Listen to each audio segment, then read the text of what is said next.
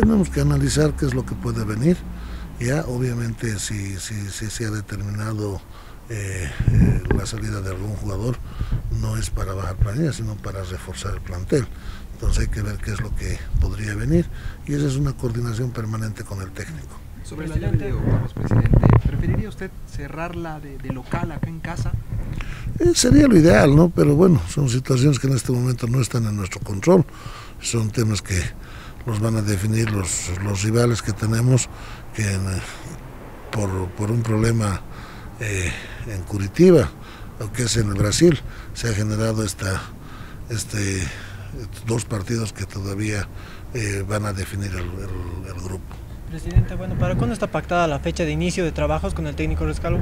A partir del 15 de junio ya tenemos que tener todo listo.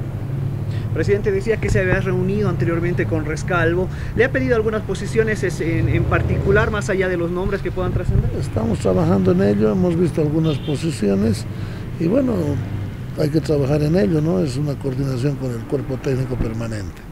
Hay que ver, hay que analizar ese tema. Eh, como te digo, es, es, un tema de coordinación con el cuerpo técnico que lo vamos a trabajar de forma seria y oportunamente les haremos conocer. Sobre Michael Ortega, presidente, eh, si bien tiene un contrato, siempre ha sido un jugador que tiene bastantes ofertas.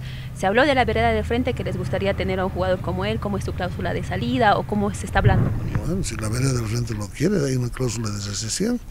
Es cuestión de sentarse a conversar, no hay otra cosa, ¿no? porque Stronger no va a amasar a nadie contra la voluntad. Eh, Stronger es una institución seria y vamos a ir de esa manera. ¿Ofertas pero para el jugador? Digo, nada oficial, todos son, todos son trascendidos. Tenemos muchos jugadores del Stronger que han pasado allá.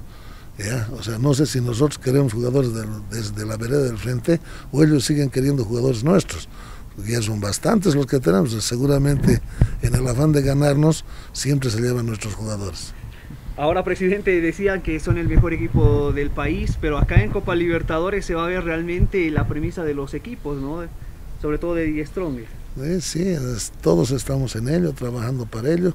Stronger no está, no está menos y estamos viendo con mucho optimismo el continuar este torneo internacional que es tan importante sin descuidar el torneo nacional que también nos interesa de sobremanera. Sí, ya no tengo celular porque la memoria se terminó, pero no importa, vamos a trabajar.